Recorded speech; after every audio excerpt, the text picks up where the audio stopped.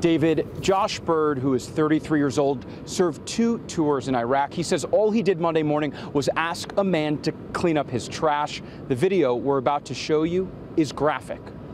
Josh Bird is standing in the middle of the street outside the Gardena warehouse where he works when a vehicle traveling at about 30 miles per hour slams into him.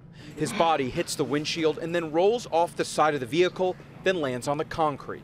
A maniac and a coward. Bird received scrapes and cuts all over his body, fractured his wrist, and has five stitches in his chin. What led up to the and run?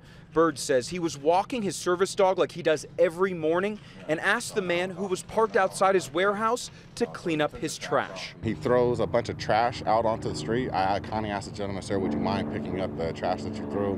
No response. Uh, he can't see me, I can't see him because he has trash bags blocking his windows. Bird picked up the trash and put it on the hood of the man's car.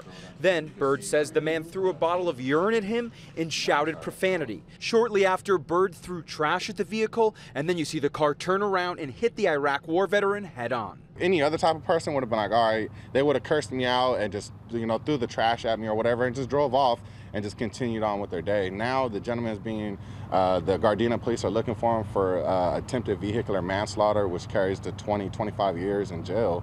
So, I mean, this, this guy is facing a lot of time. All he had to do was just pick his trash up. Now, Josh Bird tells me he wouldn't have done anything differently. Gardena police tell us they're looking for a four-door green compact car.